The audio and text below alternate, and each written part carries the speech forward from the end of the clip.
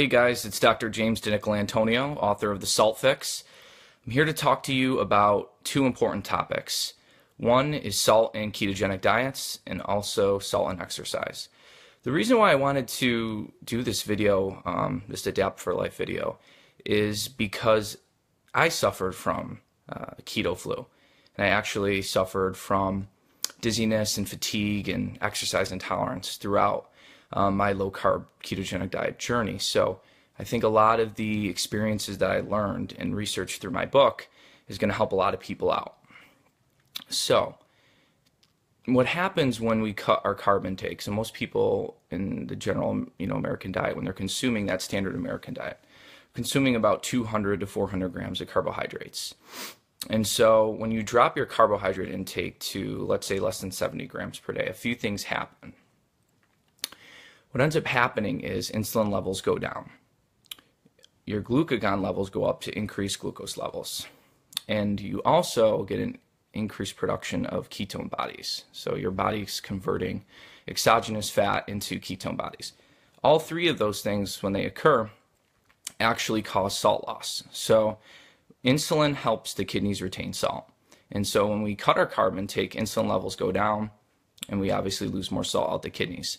Glucagon goes up to maintain glucose levels as our exogenous carbohydrate intake goes down, and glucagon also has a natriuretic effect.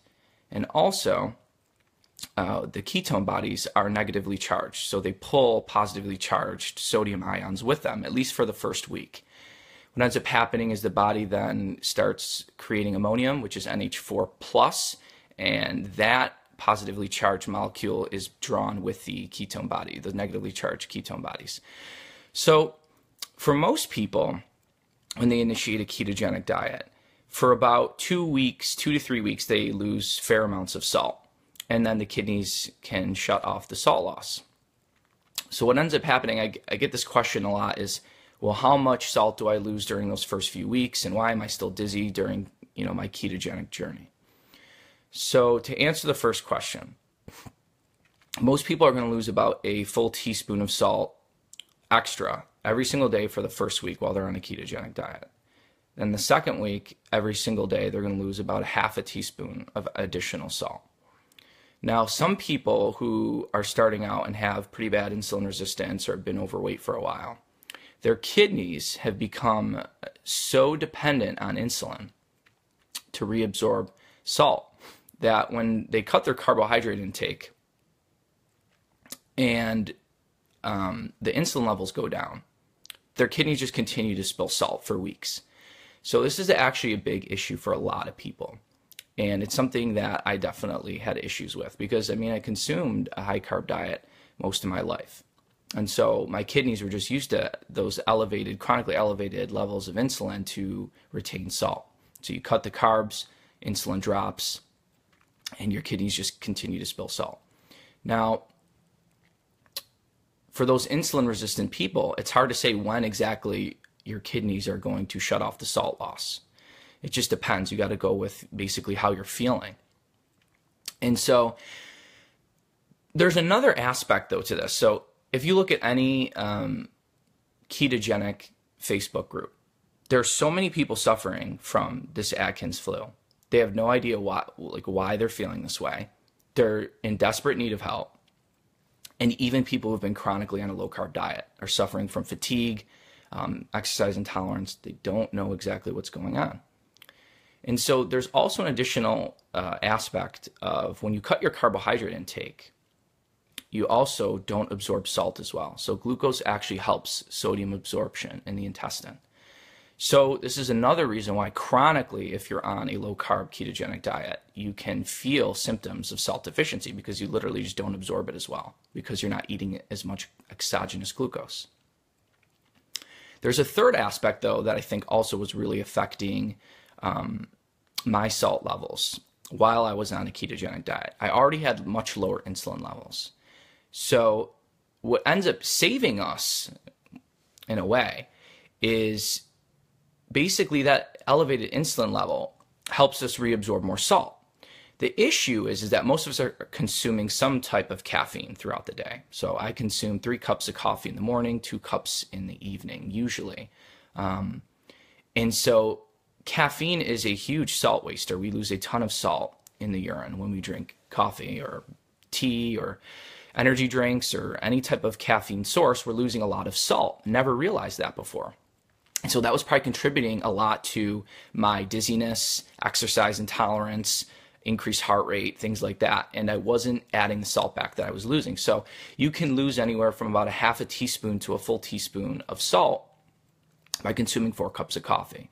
So big salt waster. And some people like to use just a pinch of mineral salt in their coffee. That's what I like to do. I actually enjoy about an eighth of a teaspoon in three cups of coffee. That's about as much as I can tolerate, but it actually does taste pretty good for me. So it just depends on how I want to do it for that day. So a lot of people suffering out there with the ketogenic flu.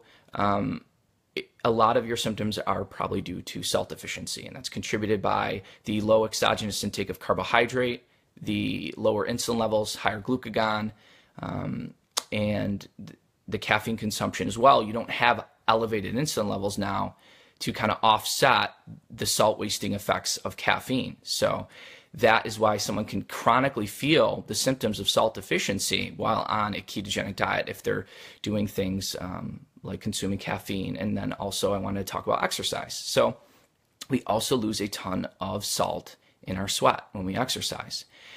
And what's interesting is, is when hormones control um, basically what we do in a way. So, what I mean by that is when we cut our carbohydrate intake and we lower our insulin levels and we fix our leptin resistance, our body actually has access to its stored energy. So our body actually feels like it's no longer in starvation mode. So your body actually is okay with, and you're going to get signals to exercise because you can actually grab your stored fat for energy. So most people that go on a ketogenic diet also, on top of that salt depletion effect of being on a ketogenic diet, they also start working out more because their hormones are determining their behavior. So insulin goes down, leptin resistance is fixed. You want to go and work out now because you have access to your stored energy. You're not in starvation mode anymore. The problem is, is when we work out, we lose a ton of salt in our sweat. So in the book, I, I have a table of basically how much salt we lose for every hour of exercise, depending on how hot it is. But for this video, I'm just going to kind of simplify it and basically say that we lose about a half a teaspoon of salt every hour of exercise. It'll be higher at higher temperatures outside, and certainly depends on the person and how active you are, um, and how you know vigorously you're exercising. But about a half a teaspoon of salt per hour of exercise is lost, and so, and we know that some people are obviously going to lose more than others, and it's an art and it's also a science. But I try to break down the science really well in the book.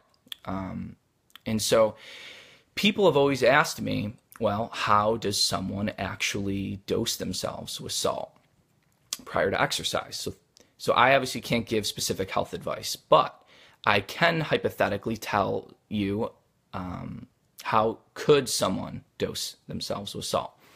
So you can. One way to do it is basically using lime juice, lemon juice, about a quarter teaspoon to a half a teaspoon of salt, and you take it like a shot, wash it down with water. Or you can kind of create something like a lemon lime Gatorade without the glucose in it.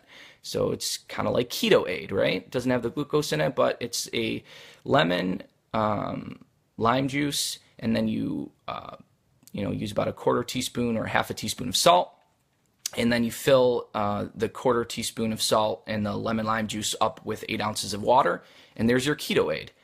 Or you can do a half a teaspoon of salt with 16 ounces of water with lemon and lime. So there's your lemon lime keto aid. And so what I like to do though is I actually like the taste of garlic salt. I can just take it straight up and wash it down with about eight ounces of uh, of water.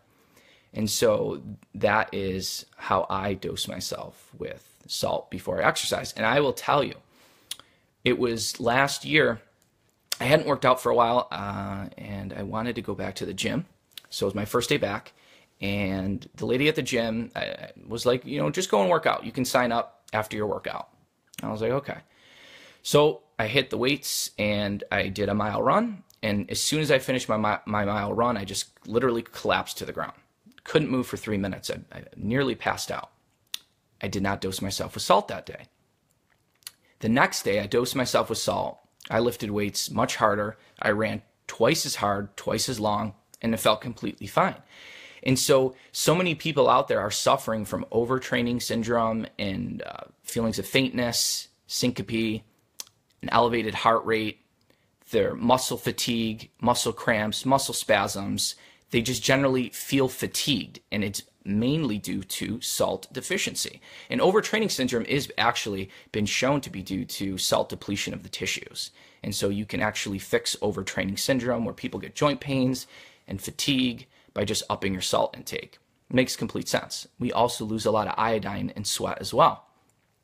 And so only certain salts have a good amount of iodine. And in, in the book, I actually go over some of my number one recommended uh, salts and I have a nutrient analysis table that kind of breaks down some of the other minerals that are in some of the more common, commonly consumed salts. So check out the book. Um, it's called The Salt Fix.